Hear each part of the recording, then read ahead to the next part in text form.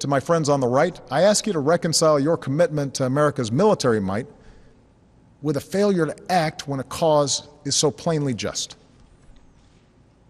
To my friends on the left, I ask you to reconcile your belief in freedom and dignity for all people with those images of children writhing in pain and going still on a cold hospital floor.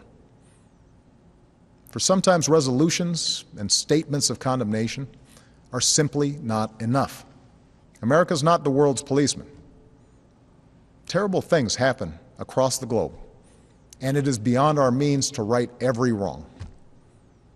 But when, with modest effort and risk, we can stop children from being gassed to death and thereby make our own children safer over the long run, I believe we should act.